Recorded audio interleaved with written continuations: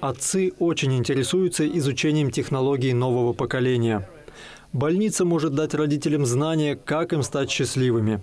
Часто в Видновском перинатальном центре можно услышать иностранную речь. Медики активно поддерживают связи с коллегами, в том числе из-за рубежа. Сегодня принимают гостя из Израиля. Шай Зильбербуш – основатель уникальной методики First Step, что в переводе означает «первый шаг».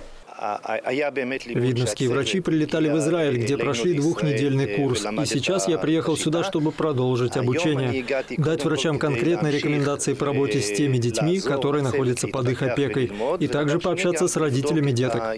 Действительно, в Видновском перинатальном центре активно внедряется опыт израильских коллег. Инструктор-методист ЛФК Наталья Чумакова полтора года изучала методику First Step и сейчас проводит занятия с мамами и детьми. Я увидела заинтересованность руководителей перинатального центра внедрять новые методики. Я рассказала о ней, и их это очень заинтересовало. И мы вместе посетили колледж именно в Израиле, и там более детально изучили возможный формат э, реализации этой методики именно с детьми недоношенными. Естественно, что первым делом Шаю Зильбербушу показали отделение реанимации и интенсивной терапии новорожденных. Здесь специалист дал мамам и врачам несколько практических советов по внедрению методики First Step. Если мы сейчас поднимем ножки и сосредоточимся на грудной клетке на дыхании,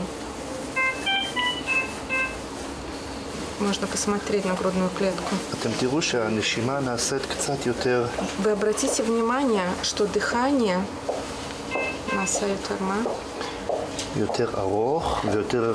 более глубокое. Естественно, о сложной методике, которая разрабатывается уже на протяжении 35 лет, в двух словах не расскажешь. Но тот факт, что она активно внедряется в сотнях медицинских учреждений по всему миру, говорит сам за себя. Задача увидеть младенца с рождения и посмотреть как он развивается, создать идеальные условия для его развития, насколько родитель осознанно относится, насколько они понимают, как создать эти условия и как эти условия влияют на следующее развитие э, младенца. В программу визита Шая Зильбербуша также входят групповые занятия для мам, открытый урок, где расскажут о методике «Первый шаг» и частные консультации. Все мероприятия бесплатны. Максим Козлов, Александр Логинов, Екатерина Давлятова. Видное ТВ.